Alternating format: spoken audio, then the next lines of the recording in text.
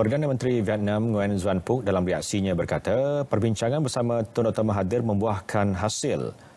Harapan beliau untuk membawa perkongsian strategik itu ke suatu tahap baru serta memastikan pertumbuhan lebih kukuh pada masa hadapan.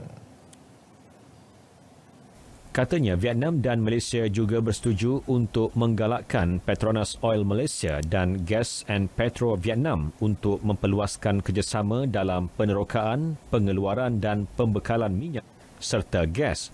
Selain itu, Kuala Lumpur dan Hanoi juga sepakat untuk bekerjasama rapat bersama-sama negara anggota ASEAN lain untuk memastikan keamanan, kestabilan, keselamatan dan kebebasan pelayaran dan penerbangan di kawasan pertikaian Laut Cina Selatan.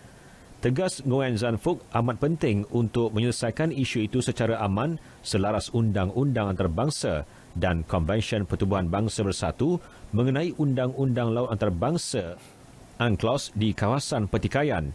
Ia juga bagi mengelak penggunaan atau kuasa ancaman dan ketenteraan.